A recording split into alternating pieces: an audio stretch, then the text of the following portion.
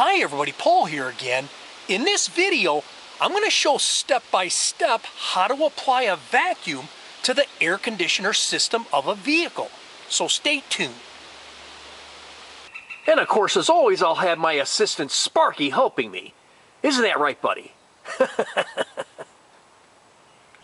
Whenever parts are replaced on the air conditioner system of a vehicle, which requires removing the refrigerant and opening the system, it's really important after putting it back together to apply a vacuum to the system before adding new refrigerant for two reasons.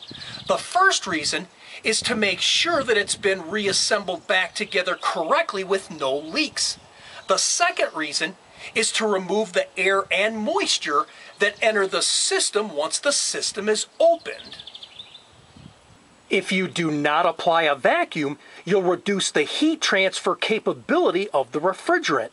This will prevent the air conditioner system from working at optimal performance. If you do not apply a vacuum, you'll also increase the likelihood of corrosion and other problems on the inside of the system. Applying a vacuum will not remove oil from the system and is not the same thing as recovering refrigerant from the system.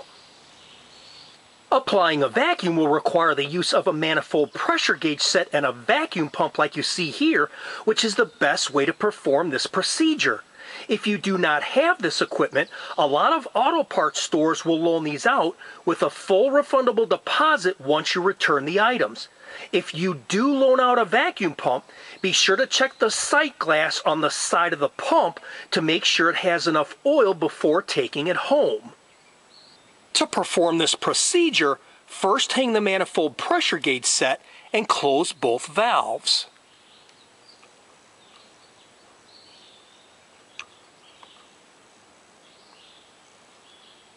Next, attach the blue low pressure hose to the low pressure side port.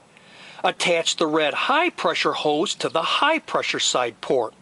Attach the yellow service hose to the middle service port. Make sure the hose fittings are snugged down properly to avoid any leaks. Next, attach the blue coupler valve to the blue low pressure hose.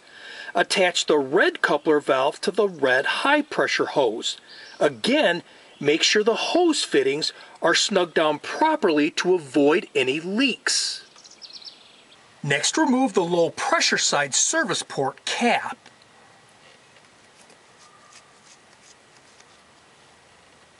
Next, turn the blue low pressure coupler valve to the closed position until it stops and then attach it to the low pressure side service port.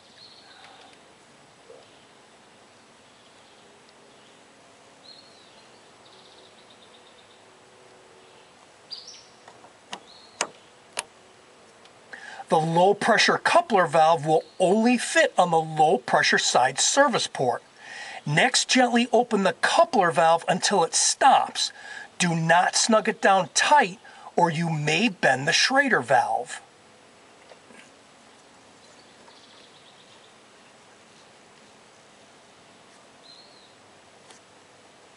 Next, remove the high pressure side service port cap.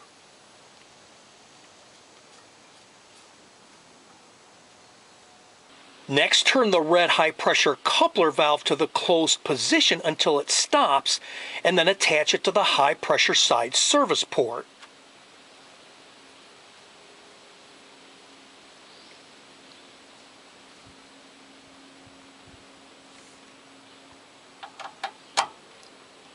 The high pressure coupler valve will only fit on the high pressure side service port. Again, Gently open the coupler valve until it stops. Do not snug it down tight or you may bend the Schrader valve.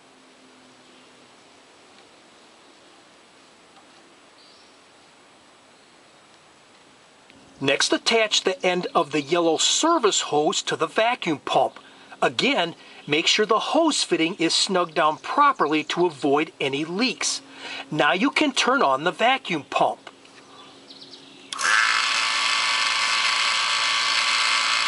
Next, open both valves on the manifold pressure gauge.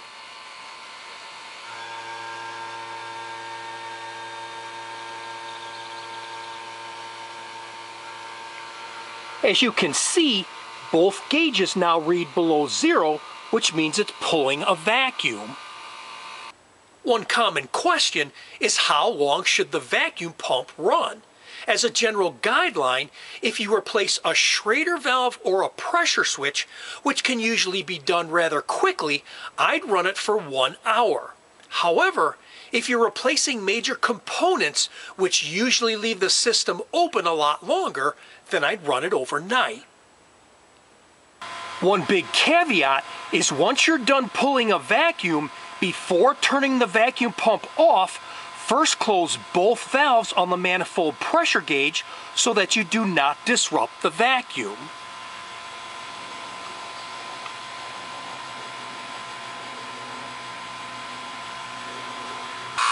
Now you can turn the vacuum pump off. Next, watch the vacuum pressure on both gauges. If after one hour the pressure remains the same, then this tells us that the system has no leaks. The last thing to do is to close both coupler valves before removing them so that you do not lose any of the vacuum in the system.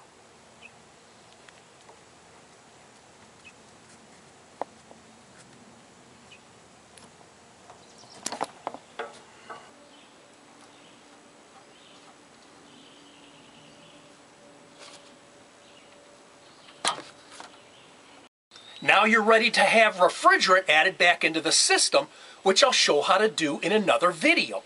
I hope you found this helpful, and if you like this video, please hit the like button below, share it with your friends, and please be sure to subscribe. God bless you and have a great day. Bye for now. And while you guys are working on your car, I'll be working on a tan of this beautiful white sandy beach.